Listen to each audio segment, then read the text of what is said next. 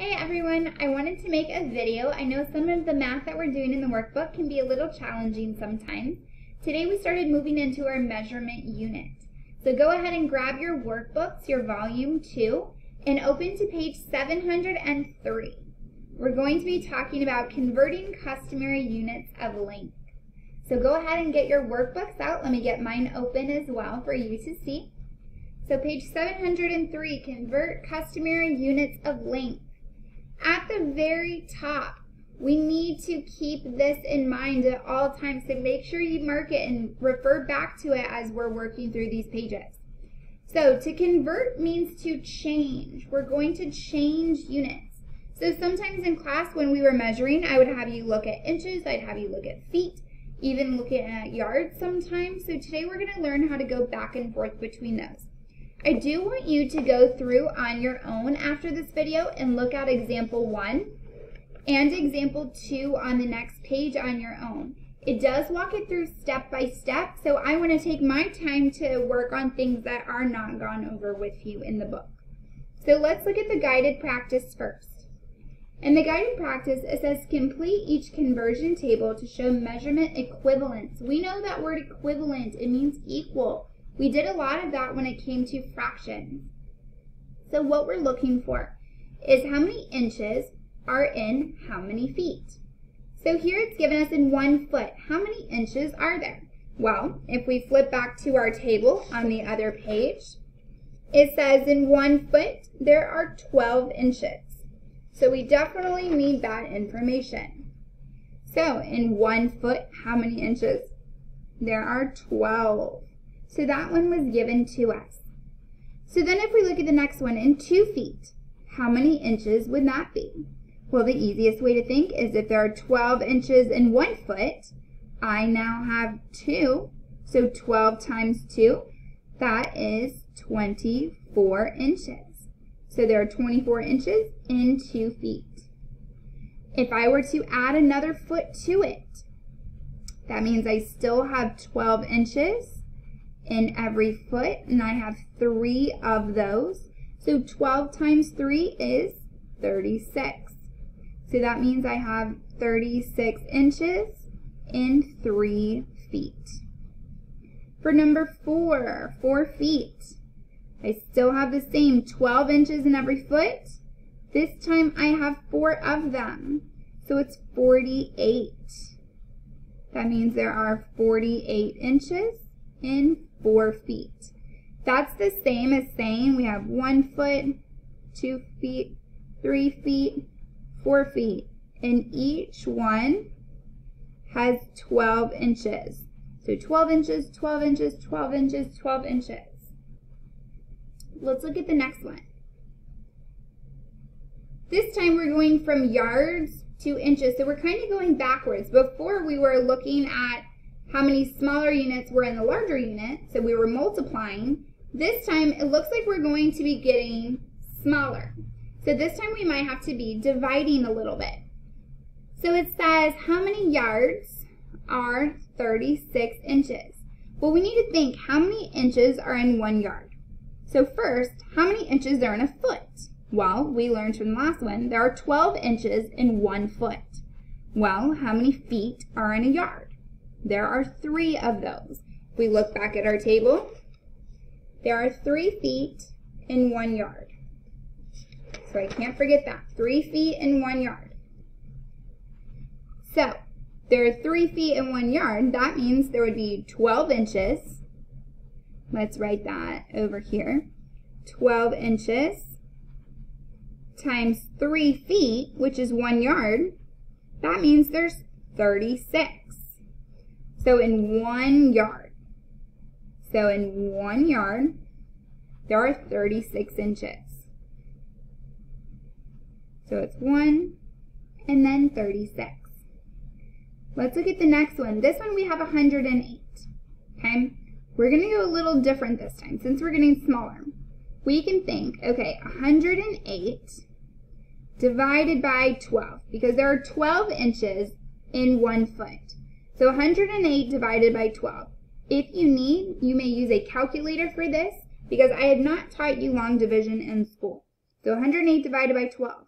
That is 9. Or you can work backwards and you can multiply because you know 12 times 9 is 108. Okay? So that tells us how many feet. Well, I want yards. So 9 feet, there are 3 feet in a yard, so divided by 3, that's going to give me 3 yards.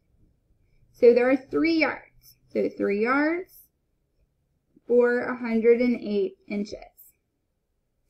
For the next one, 216. We're going to do the same thing. 216 inches divided by 12 inches first to see how many feet that would be. Well, 216 divided by 12 is 21. That's 21 feet. Well, I want yards. So 21 feet divided by 3 feet that are in a yard. That is the same as Oh, nope, this is 18. This is not 21. This is 18. I'm sorry. So uh, 216 divided by 12 is 18. 18. Then we have 18 divided by 3. That's the same as 6 yards. Sometimes teachers make mistakes too. I'm glad I caught that one. So 6 yards and 216 inches. Then we look at the last one. I'm going to put lines so I don't get confused. 252 inches. I'm still going to divide by 12. Use my calculator. That one is 21. So then I have 21 feet divided by 3 feet that are in a yard. 21 divided by 3 is 7. So that gives me 7 yards. There are 7 yards in 252 inches. Okay, let's look at number 3 on the next page on 705. So this time we are going from yards to feet. So kind of opposite of what we were doing before. Saying 2 feet or 2 yards and how many feet? Well, we know there are three feet in one yard. So this time, if we have two yards, that's the same as saying one yard, oops, one yard and two yards. I have two yards. Each yard is three feet.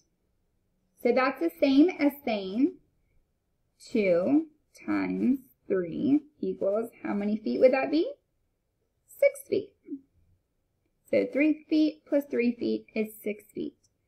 So 2 yards is the same or equivalent to 6 feet. Let's look at the next one. Let's say we have 3 yards. I'm adding one more yard, which is 3 feet. So 3 yards times 3 feet. That's the same as 9 feet. 3 plus 3 plus 3, or 3 times 3. So 3 yards is the same or equivalent to 9 feet. Let's look at 4 yards. Let's say we add one more. That's also 3 feet. So 3 plus 3 plus 3 plus 3, or that's the same as saying 4 times 3. It's the same as 12 feet. So in 4 yards, there are 12 feet. For 5 yards, it's the same as us adding one more. One, two, three, four, five. Three more feet. So 5 times 3 is 15 feet. So in 5 yards, there are 15 feet. Okay, for number 4, we're looking at yards and inches. Well, we did learn before in number 2 that in 1 yard, there's 36 inches. So let's find out how many in two yards. Well, I'm going to think 36 times 2. 36 times 2 is 72. Work it out to the side. Get some scratch paper. So that's the same as 2 yards and 72 inches. Make sure you're working these out. For the next one, for four yards, we want to do the same thing. If there are 36 inches in one yard, well, I have four of them, so 36 times four. I need you to work it out. You can see I've already worked these out on the side. So 36 times 4. Pause the video if you need and work these out. 36 times 4 is 144. So in 4 yards, that's 144 inches. For 5 yards, I'm going to do the same thing. There are 36 inches in 1 yard. Now I have 5 of them, so 36 times 5. 36 times 5 is 180. So it's 5 yards, 180 inches. Then for the last one, if I have 8 yards, that's the same as 36 times 8 because there are 36 inches in 1 yard. I now have 8 of them. So 36 times 8 is 288. So 8 yards, 288 inches. All right, for number 5, we're looking at feet and inches. If I look at 3 feet, I want to know how many inches there are. Well, there are 12 inches in 1 foot. So now I want to think 12 times 3. And 12 times 3 is 36. So that means in 3 feet, there are 36 inches. For 6, I'm going to do the same thing. There are 12 inches in 1 foot. I now have 6 feet. So 12 times 6. 12 times 6 is 72. So that means in 6 feet, there are 72 inches. For number 9, do the same thing, 12 times 9. Because there are 12 inches in one foot, I now have 9 of them. 12 times 9 is 108. So 9 and 108. And then for 12, 12 inches in one foot, I have 12 of them. So 12 times 12. 12 times 12 is 144. So 12 and 144. Number six can look a little challenging to start. I'm going from feet to miles, so let's look back at our table on the other side. For one mile, there are 5,280 feet. That is very important. Oh, look, for one mile, how many feet are there? It just told us 5,280. So that one is already done for us. So for one, there's 5,280. Now if I look at two, it's the same thing, 5,280 times 2. Same for 3 and 4. I have already worked these out to save some time. So if you look at these right here, I have worked all of them out. You need to do the same on yours. All right, after multiplying all of those out to the side, go ahead and pause this video and check your work. All of your answers are here. See if you got these correct. Now let's take a look at the bottom. Number seven, and 11 feet, how many inches is that? Well, we know there are 12 inches in one foot, so that means 11 times 12. That's the same as 132, so that must mean there's 132 inches. For number eight, 18 yards is how many feet? Well, there are three feet in one yard, so that must mean 18 times three. You do need to work these out. 18 times 3 is 54. So that means they're 54 feet. For 9, 9 is a little tricky. There's 2 and 1 thirds yard. Well, we know there are 3 feet in 1 yard.